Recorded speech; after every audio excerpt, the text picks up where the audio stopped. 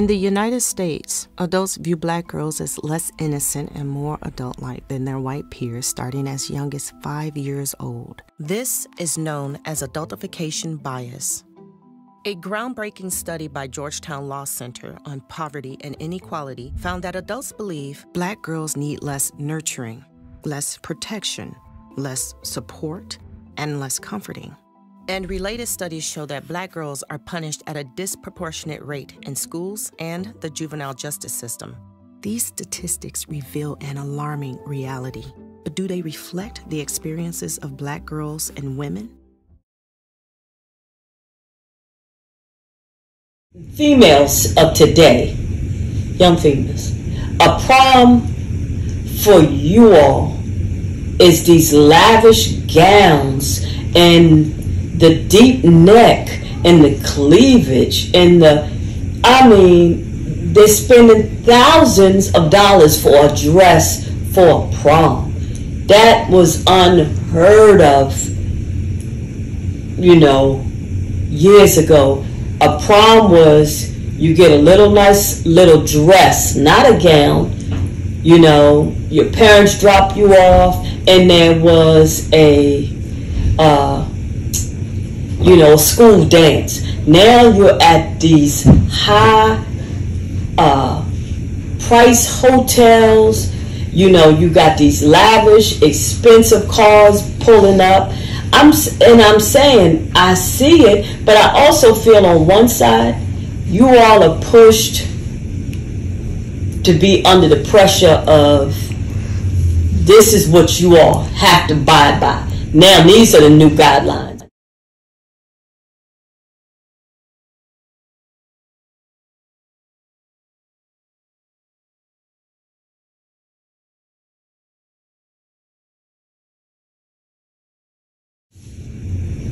Makes it harder when you just said it's not harder for men.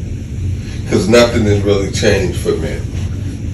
The, the, the, the things that men deal with my age or 10 years from now, whatever.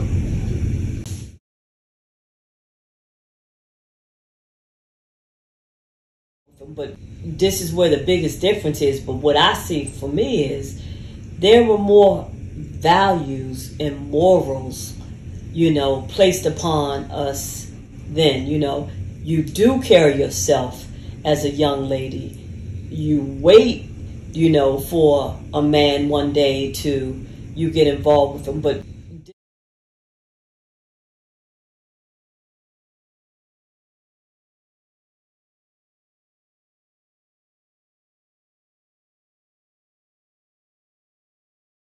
here we're back in my day we were at home. Our parents were not allowing you to be, you weren't allowed to be out there talking to any grown up adults. It was totally different. So even when you say that, you had said something about, y'all do carry yourself so much more mature than what we did. And I say that to say the pressure of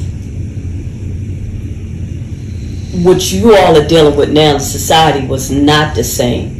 Things were so much slower.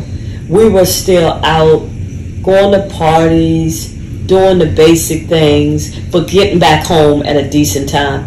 I see kids now, the pressure, not only the social pressure, um, they are out all night long, not getting rest, um, having to work, you know, like grown adults. I, and I think black women and girls also told us that adults stereotype them as too loud, aggressive, or angry, and see black girls' actions as threatening and disrespectful.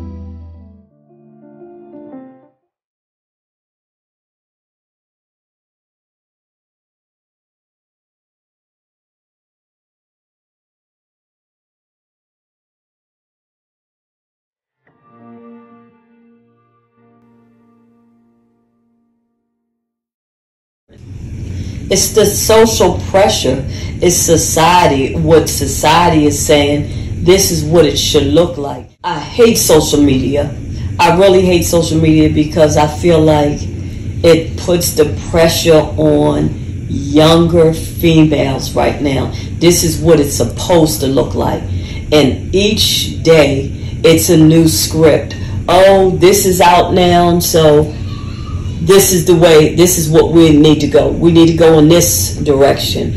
Or tomorrow we're going to sway, and the girls now are, you know, like everybody is supposed to be a certain size. So you have to walk around with this waist belt on, make your ribs squeeze, I mean, squeeze your waist in.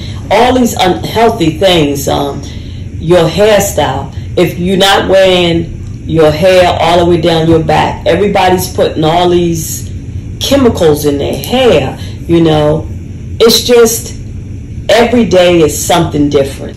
It's harder for women growing up. It's because nothing is off limits.